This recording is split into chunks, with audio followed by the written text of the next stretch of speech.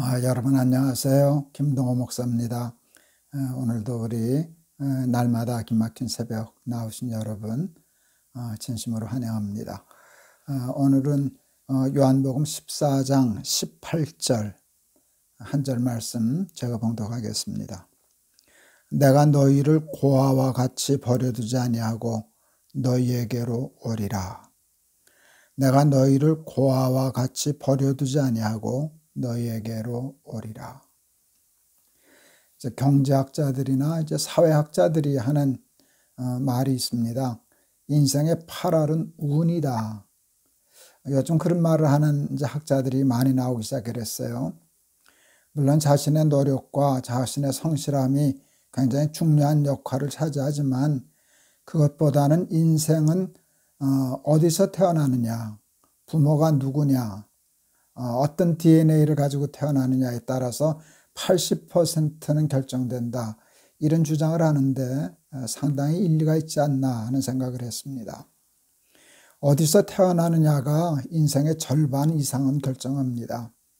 한국에서 태어나느냐, 아프리카, 말라위나 또 케냐나 아주 가난한 어, 이렇게 원시림 같은 데서 태어나느냐, 이건 엄청난 차이죠. 여러분 아프리카 우리가 늘 텔레비전에서 이렇게 보는 그 그런 데서 태어나면 아무리 노력하고 아무리 똑똑해도 어, 그것을 벗어날 길이 없습니다. 그러니까 출생하는 데서부터 인생은 반 이상이 결정이 됩니다. 한국에서 태어나느냐, 미국에서 태어나느냐, 또 미국에서 태어나도 어, 흑인 가정에서 태어나느냐, 백인 가정에서 태어나느냐, 이거 아무것도 아니라고 감히 얘기할 수 없습니다. 아, 부모의 지적인 능력, 경제적인 능력도 그 우리의 인생에 아이들의 인생에 끼치는 영향은 절대적입니다. 그 부모의 사람됨, 그 훌륭함, 인격, 또 그렇지 못한 부모들을 만나느냐에 따라서 인생은 많이 갈라진다고 얘기할 수 있습니다. 아, 조금 딴 얘기일 수 있는데요. 어, 제가 이제 어, 만 40에 동안교회 담임 목사가 되었습니다. 어, 꽤큰 교회, 꽤 큰 교회가 아니라 큰 교회였죠. 저희 노회에서 가장 큰 교회였으니까. 그 교회 부임해서 한 1년 열심히 목회하니까 또 수적으로 조금 더 교회가 부흥을 했습니다. 그때 제가 자꾸 교만해지더라고요.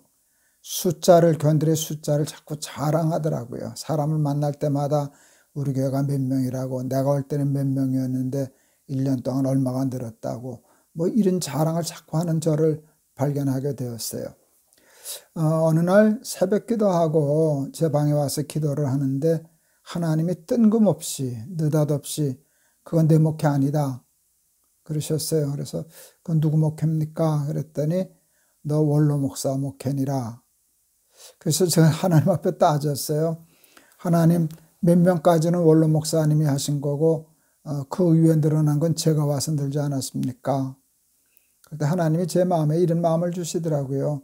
내가 씨를 뿌렸냐 밭을 갈았냐 내가 그냥 맨 땅에 와서 이런 부흥을 이룬 게 아니지 않냐 내 선배 목사가 고생해서 닦아낸 터가 있기 때문에 거기 와서 내가 좀 수고를 하니까 이런 열매를 맺는 거지 그게 다 내 능력과 내 수고와 내 노력 때문이라고 얘기하는 건 공평치 못하다. 아, 그때 아, 제가 굉장히 중요한 걸 깨달았어요. 아, 그렇구나. 선배들의 고생하고 터닦은 것이 있어서 내가 좋은 교회, 좋은 선배 목사님의 터에 왔기 때문에 이런 복을 누리는 것이지 그거는 계산하지 않고 혼자 나 잘라서 내가 훌륭해서 내가 목회를 잘해서 그것은 오만한 것이고 어리석은 것이구나 하는 것을 깨닫게 되었어요. 그리고 어, 똑같이 훌륭하고 어쩌면 저보다 더 훌륭한 목회자들 중에 그런 운이 따르지 않아서 어, 그런 그런 교회를 만나지 못해서 그냥 맨 땅에 헤딩하듯이 고생하는 우리 동료들도 목회자들도 많잖아요. 그랬을 때, 아, 그러므로 나는 저들에게 빚진 자구나. 내게 있는 힘을 어, 내 혼자의 것을 누렸으니까 내 거다라고 다 걷어먹으려고 하지 말고 저들과 함께 그 은혜와 운과 복을 나눠야 하겠구나라고 하는 생각을 한 적이 있었습니다. 이해가 조금 엉뚱한 데로 갔는데요. 우리의 인생은 그 소위 말하면 세상적으로 얘기하면 운인데요. 우리 신앙적으로 얘기하면 은혜죠. 은혜가 있어요. 은혜를 많이 받은 사람이 있고 그렇게 받지 못한 사람이 있는데 그런 은혜와 축복을 많이 받은 사람은 그렇지 못한 사람을 돕고 섬기고 나누는 그런 빚진 마음을 가져야 이 세상이 더 좋은 세상이 되리라 하는 그런 생각을 하게 됩니다. 아, 그런데 여러분 그 그렇다라고 하면 조금 억울하잖아요. 누구는 태어날 때 좋은 부모 만나고 어, 또 좋은 어, 나라에서 태어나서 하고 어떤 사람은 이렇게 불공평해 보이잖아요. 그런데 그 80%의 운이나 80%의 운 없음이 이렇게 따져보면 그것도 별것 아닙니다. 그것도 다 이생뿐이지 않습니까? 우리가 살아가는 이생에서는 그게 운도 되고 불운도 되지만 우리의 삶은 이생뿐이 아니지 않습니까? 그래서 사도 바울이 이런 표현을 쓰더라고요. 우리의 삶이 이생뿐이면 우리가 가장 불쌍한 자이리라.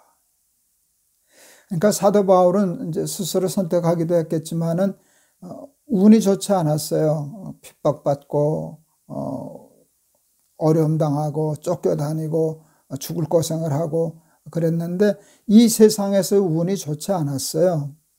그랬는데 어, 자기는 운이 없다고 생각하지 않아요. 자기는 이 생뿐이 아니니까 하나님 나라를 생각하니까 아무것도 아니다라고 생각했어요. 이생만 생각하면 80%는 운이고 어떤 사람에겐 80%가 불운이에요. 어떤 부모를 만나느냐에 따라 인생이 확확 달라져요. 좋은 부모를 만날 수도 있지만 어, 뭐, 뭐 알코올 중독이나 마약 중독 부모를 만날 수도 있잖아요. 그건 그가 선택한 게 아니잖아요. 그게 얼마나 억울한 일이에요. 그런데 우리의 시간을 좀 넓혀보면 하나님 나라와 영생을 놓고 보면 여러분 그 80%의 운과 불운도 사실은 별것 아니에요. 잠깐 이 땅에서 겪는 것이잖아요. 영원한 세계를 놓고 볼 때 최고의 운은 누구를 만나느냐인데 하나님을 아버지로 만난 사람은 몇 퍼센트의 운을 가지고 태어난 사람일까요? 전 그건 100%의 운, 축복, 은혜를 갖고 태어난 사람이라고 생각해요. 태어나 보니까 하나님이 내 아버지예요. 여러분, 그건 얼마나 놀라운 일이에요. 내가 하나님을 선택한 게 아니에요. 하나님이 우리를 선택하셨어요. 태어나 보니까 하나님이 너는 내 아들이다. 태어나 보니까 너는 내 딸이다. 우리가 이 세상에서 잠깐 고생하고 고난해도 그게 전부가 아니야. 내가 너를 건져낼 거야. 내가 너를 구원해낼 거야. 그리고 새로운 거처를 만들 거야. 나 있는 곳에 너 있게 할 거야. 데려갈 거야. 다시 올 거야. 이게 오늘 우리에게 주시는 하나님의 말씀 아니겠습니까? 최고의 운은 한국에서 태어나는 것, 미국에서 태어나는 것, 어, 지적인 능력 있는 부모를 만나는 것, 어, 경제적인 능력 있는 부모를 만나는 것, 아무것도 아닌 건 아니지만 별것도 아닙니다. 우리의 우는 하나님을 아버지로 만난 것입니다. 근데 이거는 80%가 아니에요. 100%예요. 세상 운이 안 좋아서 혹 가난할 수 있어요. 혹 고생할 수 있어요. 혹 힘들 수 있어요. 고난도 겪을 수 있어요. 그러나 잠깐 지나면 우리는 하나님 나라에 거하게 될 거예요. 거기에는 운, 100%의 운과 축복이 작용하는 것이에요. 거기는 평등해요. 왜? 하나님이 다 하나님의 아버지니까. 다 하나님의 자녀이니까. 여러분, 세상에는 가난한 아버지와 부자 아버지가 있어요. 부모들이 다 다르지만 우리의 영원한 아버지는 하나님이시잖아요. 천지를 창조하신 전능하신 하나님. 나를 사랑하시되 독생자 예수 그리스도를 십자가에 못 박기까지 사랑하시는 하나님이 내 아버지시라는 것. 이게 기독교의 복음 중에 복음 아닙니까? 오늘 예수님이 이런 표현을 쓰셔요. 내가 너희를 고아와 같이 내버려 두지 않겠다. 이 말씀 참 매우 중요한 거 있어요. 살다 보면 우리가 마치 고아처럼 부모 없는 고아처럼 버려진 것처럼 그런 삶을 살 수가 있어요. 이 세상에 운이 나쁠 수가 있거든요. 운이 나빠서 고아처럼 버려진 것처럼 왜 저 사람 날 때부터 좋은 부모 만나는데 나는 왜 부모를 잘못 만나서 이렇지? 왜 나는 가난한 집에 태어나서 이렇지? 왜 나는 이렇게 운이 없지? 그럴 때 고아처럼 느껴질 때가 있는데 하나님이 말씀하셔요. 너도 고아 아니야. 이 세상에서는 잠시 고난당하지 못하지만 내가 너희를 고아처럼 내버려 두지 않는다. 너는 다 내 아들이다. 내 딸이다. 내 자녀다. 이 말씀 얼마나 복음 중에 복음인지 모릅니다.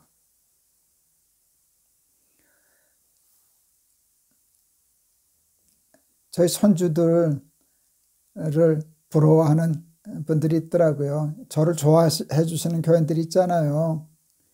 어, 그래서 어, 예, 저를 만나면 반가워하고 좋아하고 그러는데 우리 손주 보고 그러던데요. 넌 참 좋겠다. 태어나고 보니까 할아버지가 김동호 목사야. 그럴 때 기분 좋더라고요. 예, 우리 손주들이 나를 할아버지로 만나서 사람들이 부러워한다는 거 고맙죠. 태어나 보니까 할아버지가 김동호 목사야. 그 아무것도 아닙니다. 우리가 눈을 뜨고 보니까 내가 택한 게도 아닌데 하나님이 내 아버지다.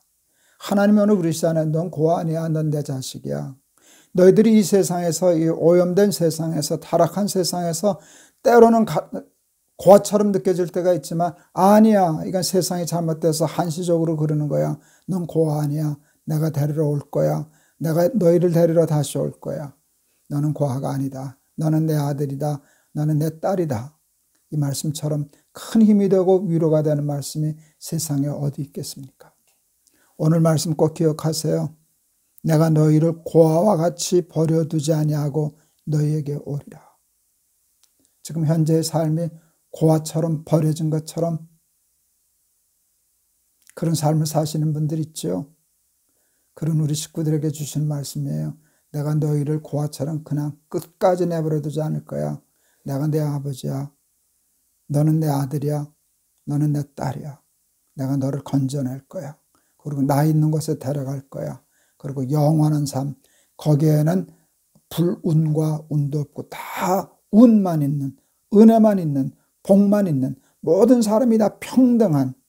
그래서 이 세상에서 겪었던 모든 불평등했던 그런 억울함과 슬픔과 아픔을 다 잊게 할 그런 평등하고 사랑이 넘치고 은혜가 넘치는 삶 하나님 우리에게 약속해 주실 줄을 믿는데 내가 너희를 고아와 같이 버려두지 않겠다 하는 말씀으로 힘없고 고아 같이 버려진 것처럼 느껴지는 세상에서도 당당하게 힘없고 살아가는 우리 날개사 가족들 다 되시기를 주의 이름으로 축원합니다. 기도하겠습니다. 세상은 운입니다. 80%랍니다. 그 말이 일리가 있지 싶습니다. 어느 나라에서 태어나느냐, 어떤 부모에게서 태어나느냐, 가난한 부모를 만났느냐, 지적으로 경제적으로 능력 있는 부모를 만났느냐, 인격적으로 훌륭한 부모를 만났느냐, 혹시 알코올이나 마약이나 중독되고 인생 파탄된 그런 부모를 만났느냐에 따라 우리의 운은 확확 갈립니다. 운이 좋은 사람보다는 운이 나쁜 사람들이 더 많습니다. 그래서 우리가 이 세상에서 살아가는 동안에는 마치 고아와 같이 나는 버림받은 자구나 느낄 때가 있습니다. 이러한 삶을 살아가는 우리들에게 오늘 주시는 말씀, 너희는 고아가 아니다. 내가 너희들을 고아처럼 버려두지 않을 것이다. 너는 내 아들이다.